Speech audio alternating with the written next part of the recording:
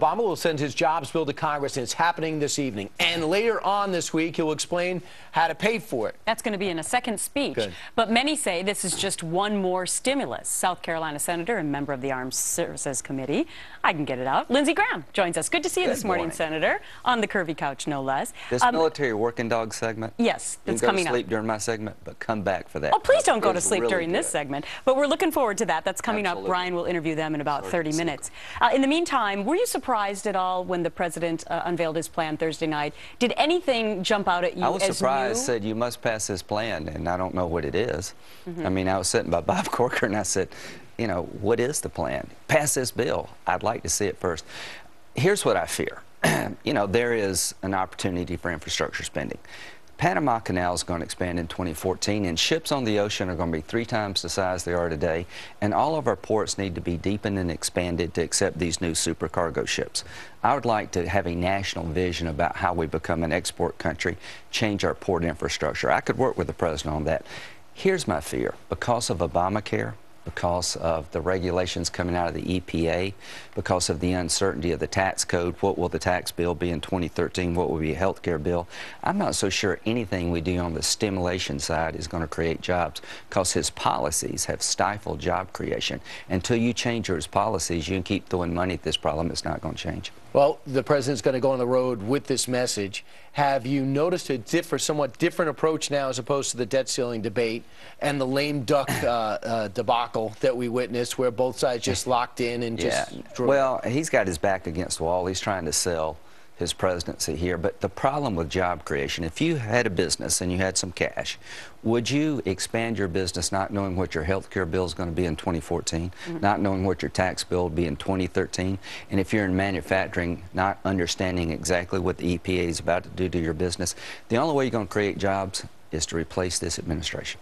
So uh, he says he's going to pay for all this. He's going to come up with a way. He says other people are going to pay for But- this. but, yeah. Well, his spokesperson told me. This committee His gonna pay for spokesperson told me that he's going to pay for Well, it. So, for so let's take him at his word, at least for this part of the discussion. How? If that's the case, right? he hasn't told he- us yet. Next Oh. Monday he will.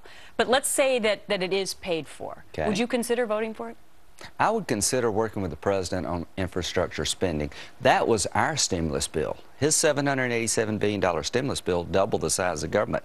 We had a bill actually that spent money on infrastructure, helped the unemployed, and cut taxes. He's going back to where we started.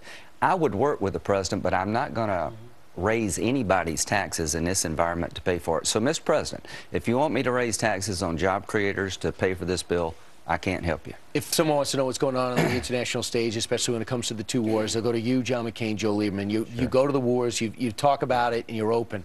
Uh, Donald Rumsfeld, Paul Wolfowitz, it's both way in, and they say they're really concerned about the massive drawdown in Afghanistan as well in Iraq, and it could affect terror here. How do you feel? Well, Dianne Feinstein said that 3,000 troops in Iraq is woefully Democrat, inadequate. right? She is a good lady. She's the chairman of the Intel Committee. If we go down to 3,000, we will not have enough troops to do the missions we need. Counterterrorism, intel collection for the Iraqi army, sovereignty, and to protect about 30,000 American civilians.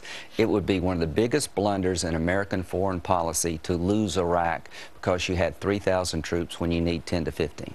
So is it a political move? I have no idea. No general has suggested anywhere near 3,000 troops. It's okay as commander in chief to disagree with the generals, but it's not okay to take their advice and throw it uh, in the garbage can. No one has suggested anything really from the Pentagon below 15 to 16,000. It would be a political decision. No one suggested pulling all the surge forces out in September of next year because that shortens the fighting season. It wasn't an option presented to the president. It was an option created by the president. This is the Obama-Biden plan in Afghanistan, and 3,000 troops in Iraq would be a formula for disaster, and Iran would love that. They're trying to destabilize Iraq. Senator Lindsey Graham from South Carolina. Great to have you on set with us Stay for the dog segment. All right. and, and stay the whole show. Okay. All right. Thank you very much, Senator. Good to see you in New York. All right. Meanwhile, New York Times uh, columnist uh, says George.